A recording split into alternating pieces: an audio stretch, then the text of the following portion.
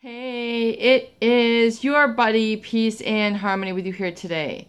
We're zooming in and focusing in a little bit more in depth on rewiring a more positive emotional state, really expanding the repertoire of your emotions after you have come through a seething, perhaps toxic relationship with an emotional manipulator a narcissist, a covert narcissist, a sociopath, or a psychopath.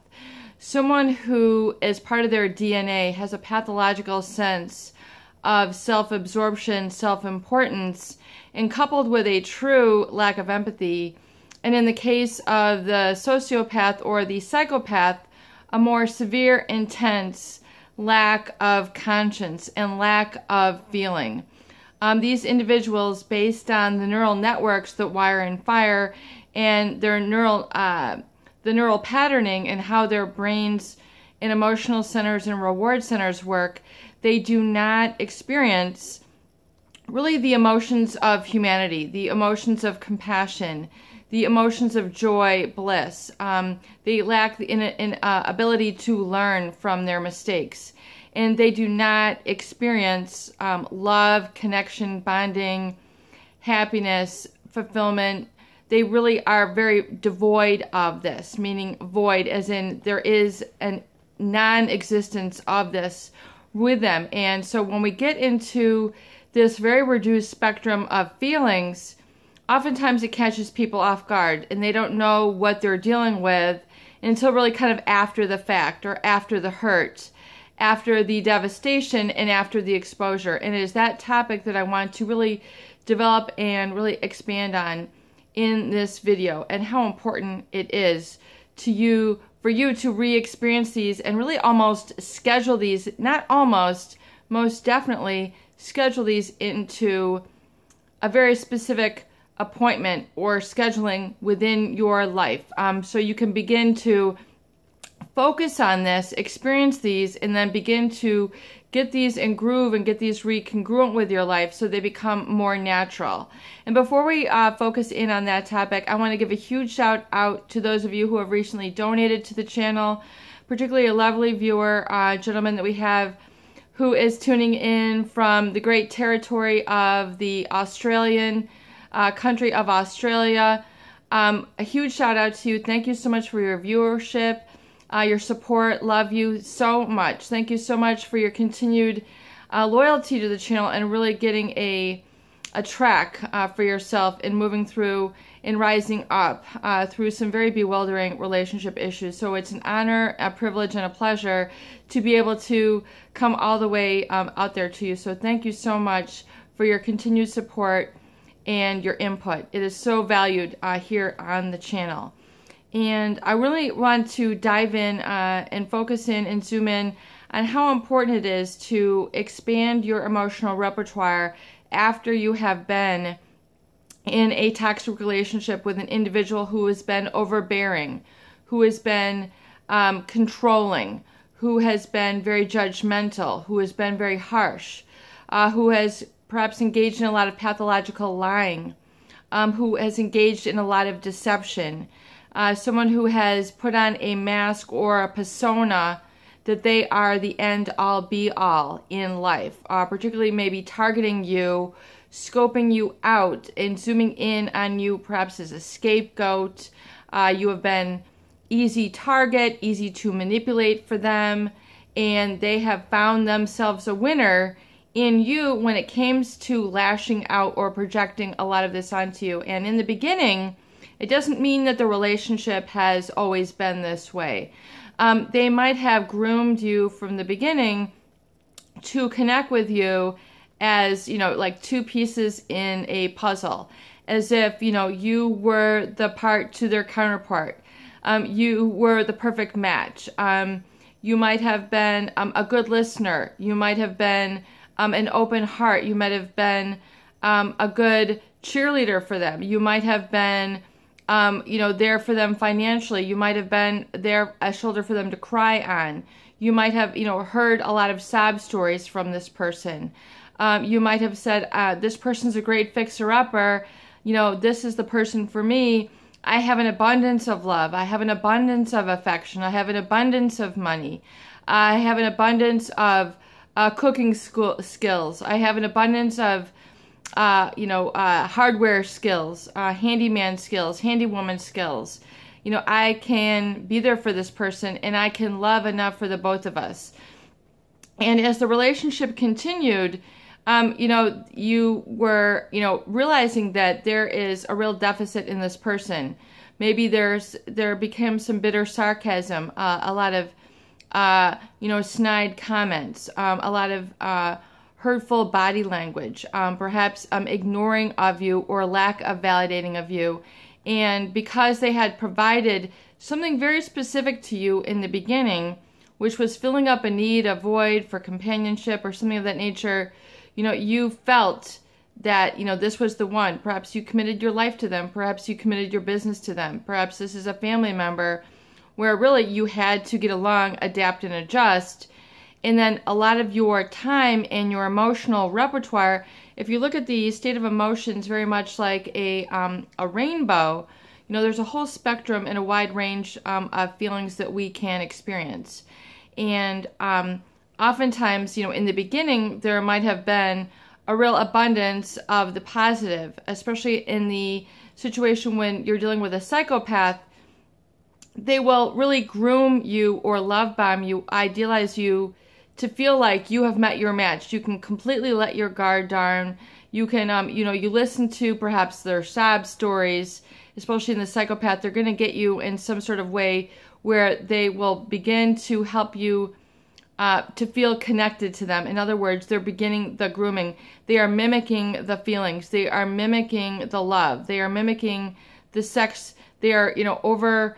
Uh, they're they're getting you hooked in, in essence. And so, um, the psychopath, which has, they they don't feel these feelings. They will put on a facade of needing uh, an individual. They just might need. They're very parasitic in that they might need a business partner. They might need um, a uh, a companion to ward off their boredom. You know, there's specific things where in that you discover, you know, that this person was completely, you know, a lie, um, a sham, and a facade, and now it's left you terrorized. And oftentimes, you've now, in the course of the relationship, your emotional state has become very limited to the fight or flight. You know, the the over uh, the you know having to work harder and harder to please them. Um, you know, perhaps you had felt like you won their esteem, you won their pleasure, you won their smile, you won their date, whatever it is that you did in the beginning of the relationship, the business partnership, the approval from them. Um, and, you know, perhaps there was the, the flattery, um, you know, which you then, you know, fell for. Um, you know, them telling you the most handsome man in the world, the most beautiful woman in the world, la da da da da, okay? So then your spectrum of emotions then became caught up in trying to overplease them, um, you know, or to keep them, you know, really um, back in love with you um, as you start to feel things, you know, start to go awry or a little bit of distance. Um, so you might have worked harder on trying to keep them there.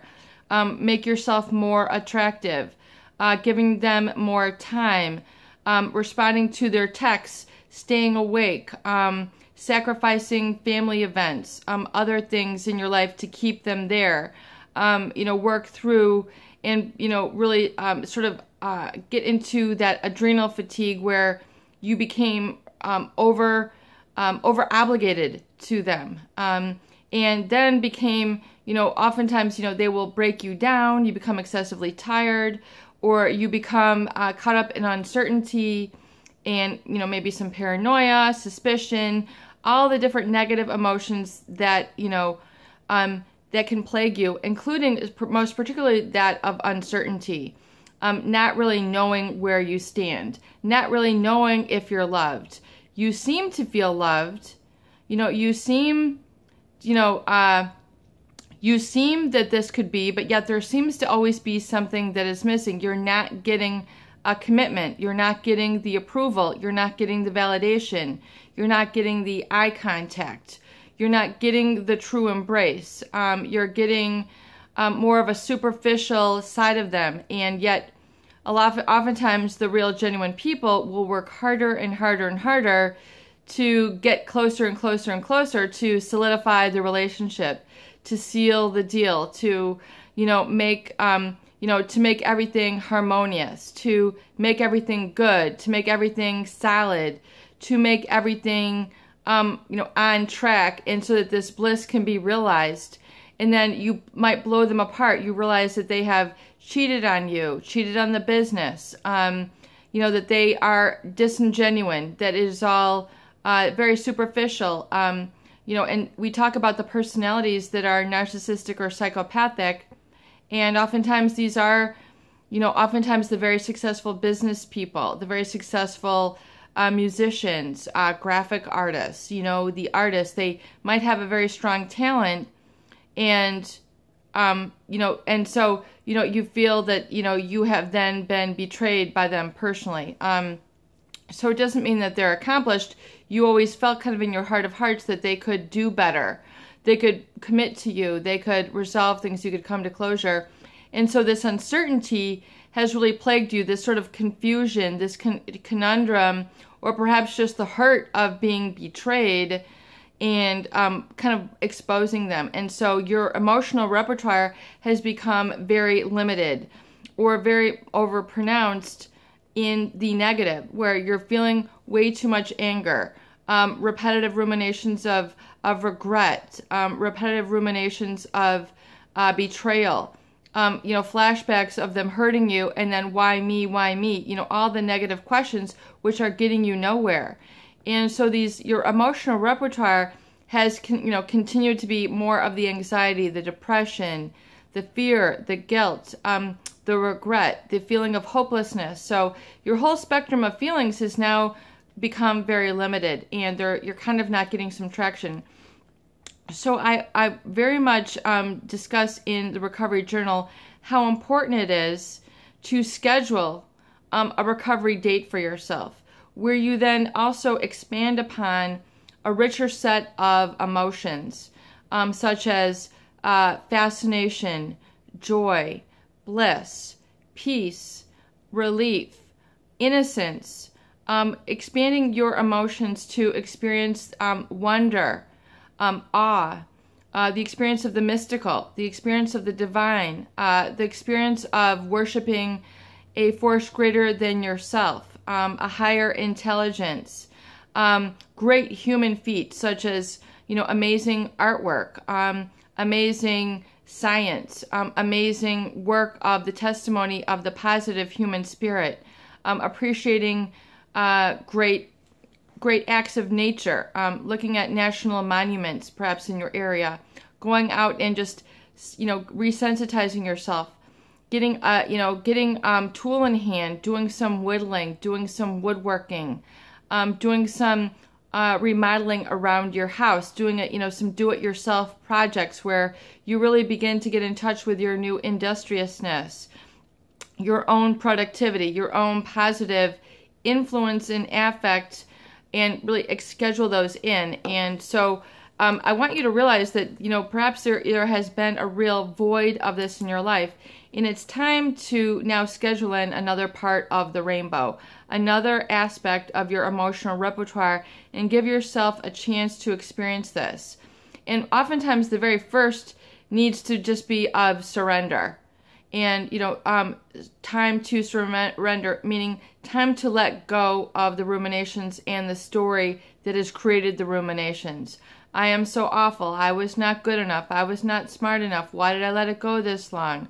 You know all you know a cessation of fear a cessation of the the beating up those you know those feelings. So that is the first um example. So as you know i highly recommend um, and this is going to be a little bit of a longer video, but getting a day minder book. If you can't get this from Amazon or eBay or someplace at an office place, find something similar that has, um, you know, for example, you know, I have several of these um, as an appointment book, but you need to find where you schedule in things like this and hour by hour an example might be, you know, you might say, what day is my recovery day? You want to set aside two hours at least a week, and then you want to expand it to maybe two hours two times a week, and then do half a day, and then do a full day, a full recovery weekend, you know, a full recovery week, and then eventually you'll begin to jog this new positive feeling and get have a reset and a reprogramming of your emotional state. So you might um, just say like this 10 to 2 on Friday. Surrender. Or be surrender. So it's very simple like this. Be surrender. Um, or schedule in, you know, 1 to 3. Um, be curious. And then put in, you know, like a star. Do a little bit of a... Uh, you know, of a star or something that gives it kind of an emoji feel, if you will. So you give a sense of self-expression to that date. Um, then you might have, you know, like 325, be inspired. I-N-S-P-I-R-E-D. If I can get a pen that works.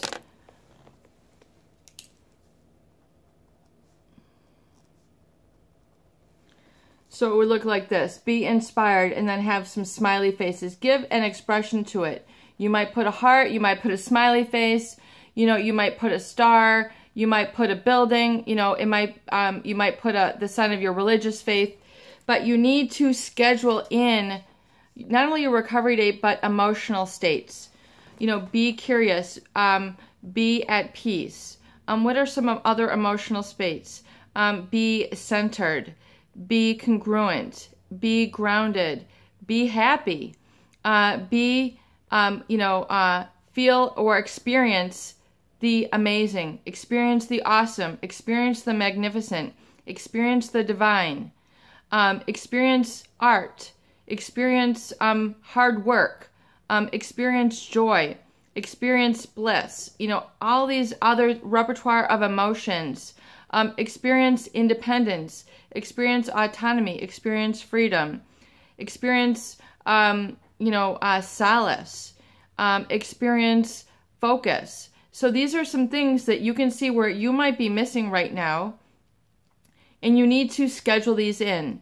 If you feel odd doing this, excellent. You are on the right path because you need to do something different to change. Your life is not going to change if you continue to, you know, do the same things and, you know, we, we think 60 to 70 thoughts a day. And, you know, your thoughts are the language of the mind, but the feelings are the language of the body. And in order to get a new, a, a new change, a new perspective, a new emotional repertoire, a new behavior, and a new identity, and really truly work through this and heal for good, you need to do something different. You need to make different choices. You need to make, be decisive and and and file and keep this in front of you and hold yourself to it like an appointment like a doctor appointment. Um you know like like a job you know like you know where you're you're supposed to be there from 9 to 5 or 10 to 6 you know you need to en- engage in this and you can still engage in these new emotions while you're working. So for example if you've been in this agitated state um, sort of checked out state, fearful state, you know, so much of your time is engaged in this regret, um, guilt.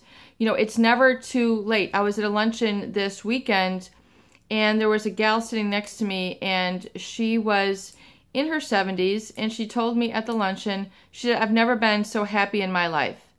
She said, I'm finally finding what I adore. I finally am finding happiness and I wish I had done this a lot earlier. And she's telling me about how she looks at the clouds and you know she takes these walks and she volunteers at a pantry.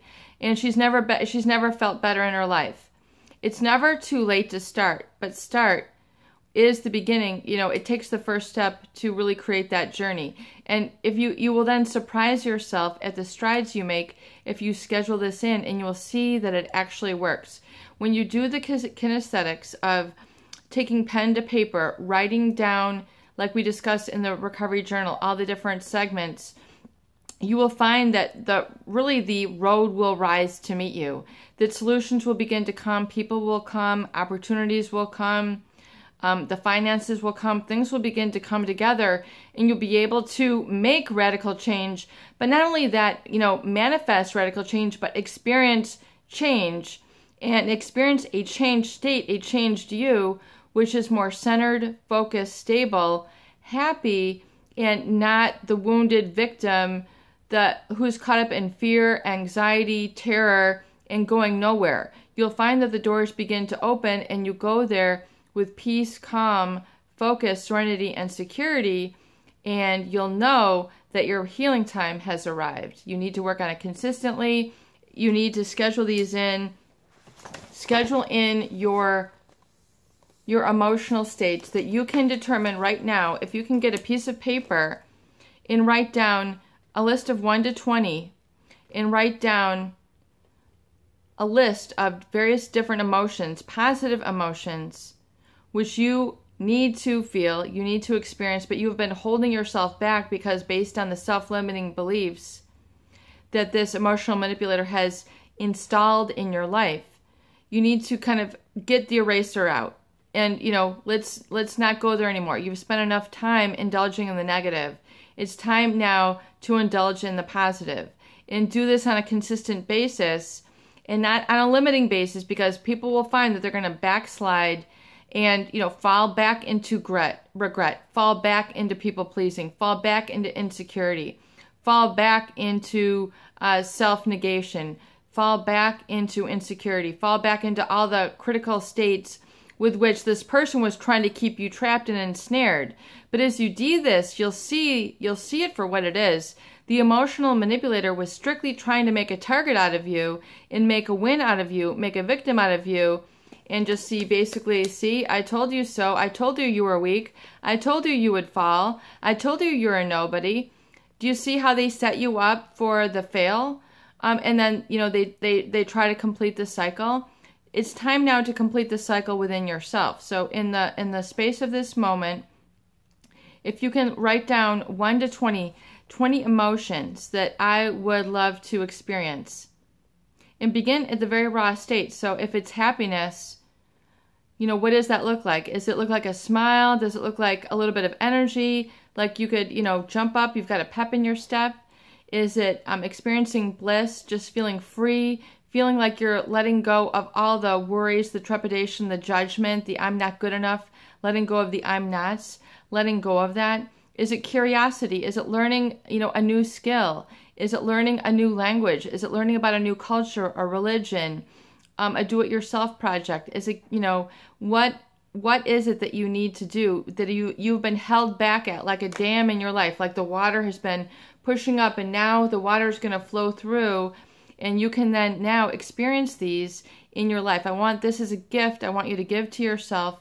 Look at your list and begin to plug those into your you know you take your list of 20 begin to plug it into your appointment book fill it up and continue to do it week by week by week by week by week, month by month by month. And you need to schedule this in. You need to focus in, focus in, and say, you know what? Become expired. What? Uh, become um, inspired. Um, I'm expiring the anger, and I'm now renewing my curiosity. And what does that look like for you? Are you watching a documentary? Are you um, meeting people? Are you looking for a new job? I mean, what are these things that you can plug in? You need to plug and play. And as you take those small baby steps, you'll find that you're making great strides in your life and you're becoming a new identity, a new feeling, a new experience, a new I am upon following up this these tools. It is your buddy, Peace and Harmony with you here today, and I hope that these videos do help. Please share and please subscribe for more great tools, videos, discussion, and support.